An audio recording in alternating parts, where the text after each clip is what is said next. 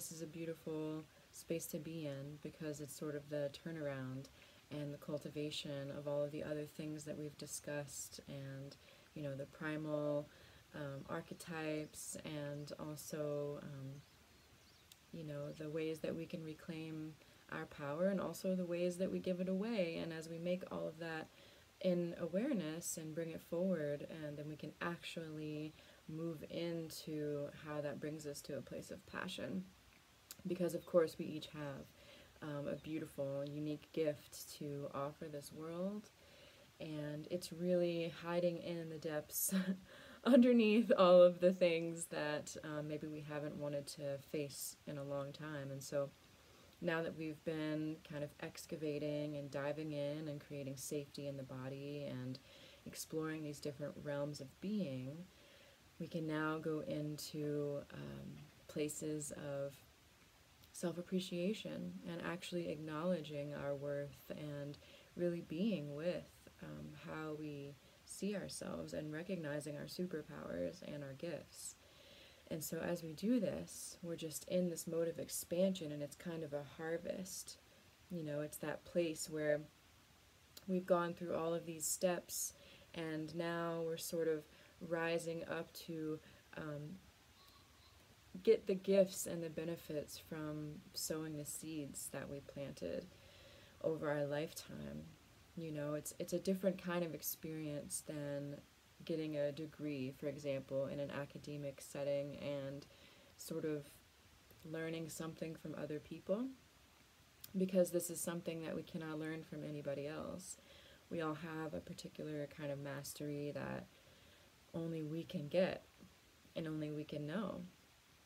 And we do a pretty good job from hiding it from ourselves you know, and um, that's okay, but we don't have to do that anymore. You know, once we sort of shed all of the conditioning and all of the programs and all of the reasoning and all of the patterns and loops and the things that keep us within the tendencies of staying small. And as we build this capacity, we may start to notice inspiration bubbling up, you know, and it doesn't mean that we're never going to experience doubt and relapses of guilt or whatever you may face, um, it doesn't mean that that's not going to come back. It means that we have a greater capacity to actually be with that part of ourselves and not let it run the show and actually allow ourselves to blossom and flourish even in the face of those things because they're there, we see them, but they're not in the forefront anymore. So, as we dive into the path of passion, let's just do a little grounding. Feel free to close your eyes.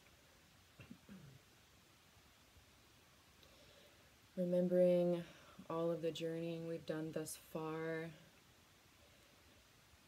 accumulating the beautiful experiences that we've allowed ourselves to have in the depths of our own body and being. the innocence in our heart and the fire in our solar plexus, greeting those places.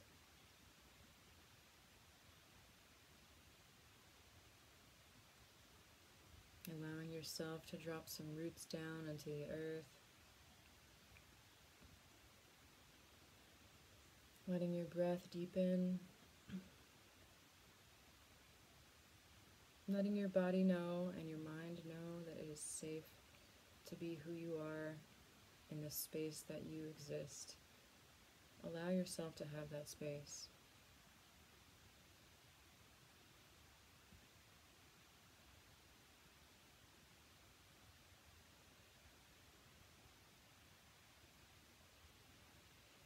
And as we drop in and we tune in, we're going to greet the intuition. And some people associate this as living in the gut because the gut brain is also a third brain in our body that is greatly influenced with the things that we intake. that can be food, that can be external stimulus, thoughts. Everything is sort of digested in this gut brain.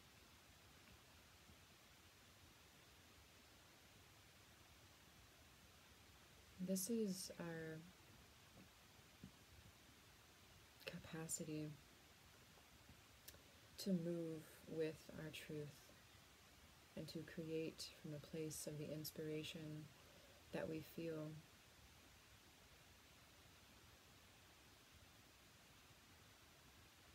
So we're just going to greet this place.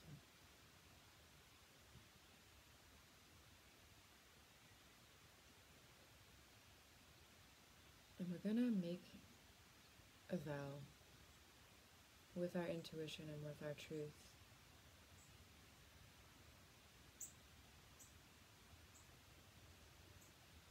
And as we do that,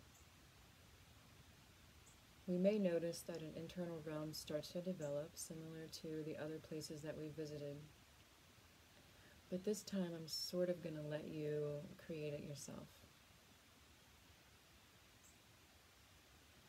Because this is your realm, this is your domain.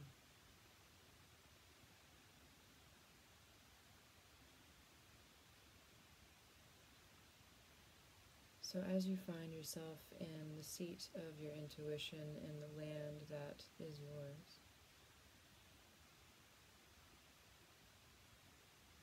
just take a look around and see if this space feels spacious and open, if the paths seem clear,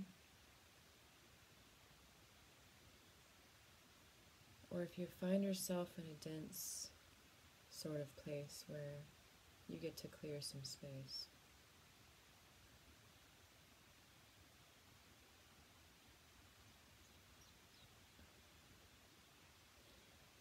Keeping in mind that there is no judgment here.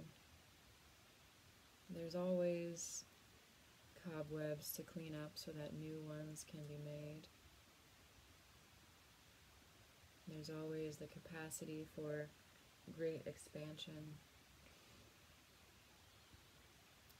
One is not greater than the other.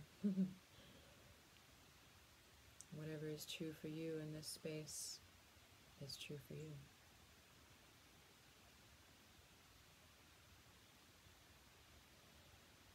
What I invite you to remember is that you are not alone here.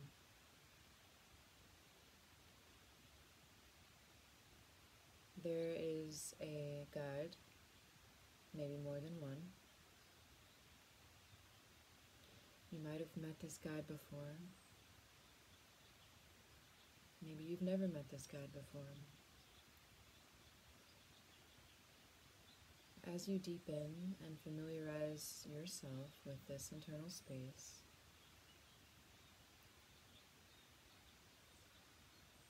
I want you to allow yourself to meet this guide.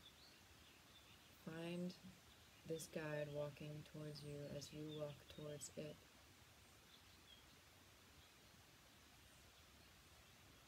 It may be a two legged, it may be a four legged, it may be a winged one.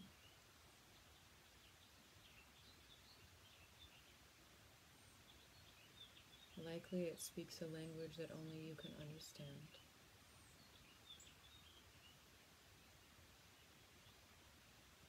And I want you to feel the benevolence of this guide and recognize this being as an ally, as a guardian to your intuition.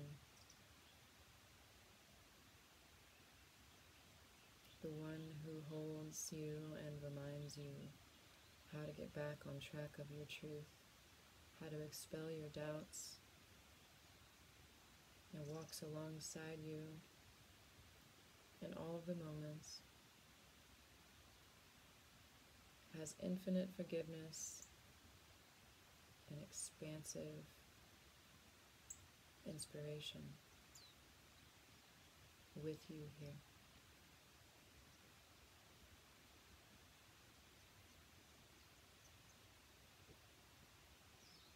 So go ahead and allow yourself to exchange something with this being.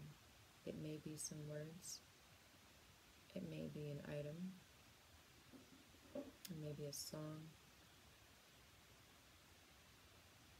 just go ahead and allow yourself to make an exchange, remembering who you are in this space and remembering who this being is in this space.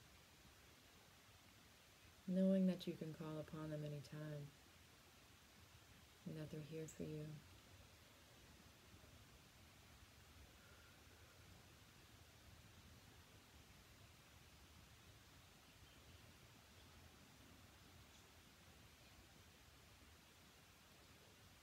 If this being has a name that it wishes to share with you, go ahead and ask that now.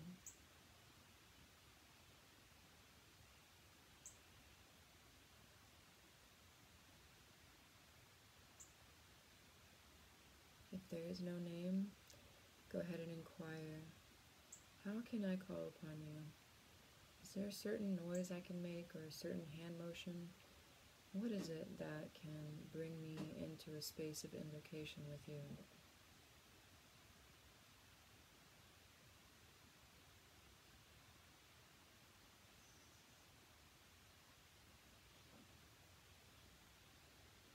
And once you've made that connection and had an exchange,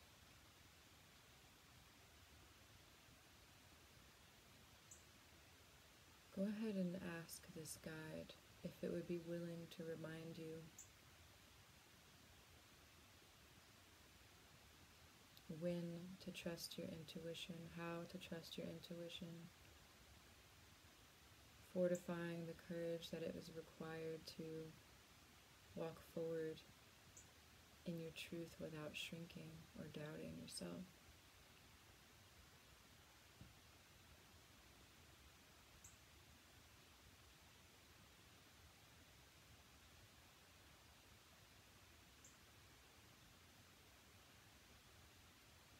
remembering the gentleness that is inherent. And if you forget that, your guide is also willing to remind you of that as well.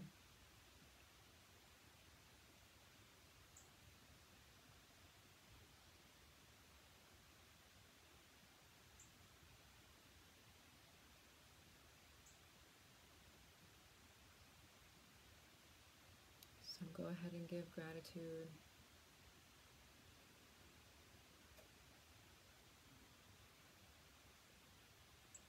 Allow yourself to feel the support that is always here.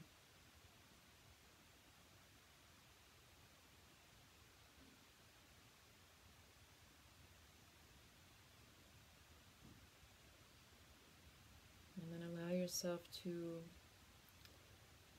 recede from this space, walk in the opposite direction from which you came to greet your guide. knowing that you will reconnect soon again.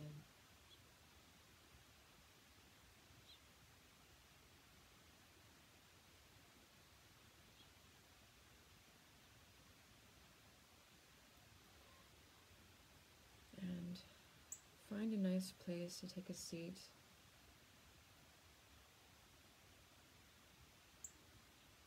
And whenever you're ready, close your eyes in that space and open your eyes in this space. Hmm.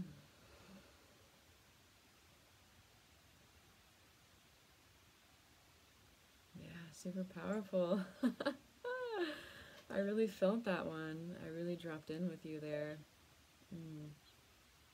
Thank you for going on that journey with me. It's a beautiful thing to remember that we are infinitely supported and that always, always, always we can call upon our higher self and or our guides to remind us to allow this beautiful unfolding. Because as we initiate ourselves, we're going to hit a lot of walls. We're going to get all those obstacles and all those road roadblocks, and you can call them tests if you want to. They may come internally, they may come externally, but no matter. They are here to show us, to teach us, to check us.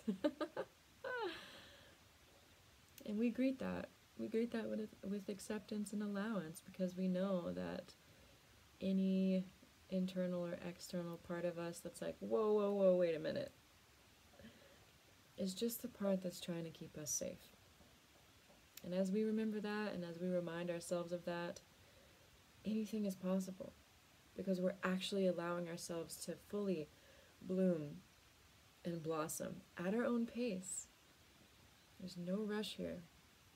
As long as you're in your truth, there's no way you can do it wrong. This is really just a practice of allowing yourself to be you. No matter where you are, no matter what's happening, no matter who's around or what they may think about it. Because the world needs you. It needs all of us. The reason that we came here is the reason that we're alive. And maybe we know what that is, and maybe we're just starting to remember again. Wherever you're at is totally great. We have infinite support for that. So, I do recommend journaling about this. It's easy to dive into these internal visual realms and then they may leave quite quickly, similar to a dream. So, it's great to make the practice of reflective writing. And as you write about this internal space and the guide that you met, um, also write about how you felt when you were in that space and what that space looked like for you, remembering that it may change every time because we are growing and expanding continuously. So it may have only been that way that it was that one time. so uh, it was a unique experience. Maybe it's similar the next time you visit. I don't know. This is your internal realm.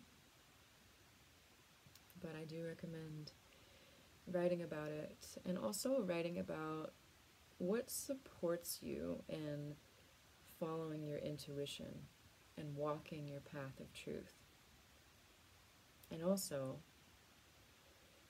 in what moments do you find that it's not as easy to do that. Because if you can identify and locate the sort of trigger points that pull you out of that space with yourself, then you can more easily recalibrate and come back. And then as soon as it starts happening, oh yeah, there's that thing again. Here I am, in the center, grounded. Where's my truth? I'm in my intuition. I trust my intuition. I validate myself. I am my greatest authority. Yeah, so write about those things. And uh, I'd love to hear if anyone would like to share. It's um, it's a powerful thing to dive into these internal realms. It's infinite for sure, and um, I hold space for for each of you to really go into this um, with honor and respect, and really allow, really allow the depths to inform you and to teach you and you know just celebrate yourself as you are in your truth following your intuition. I hold you in that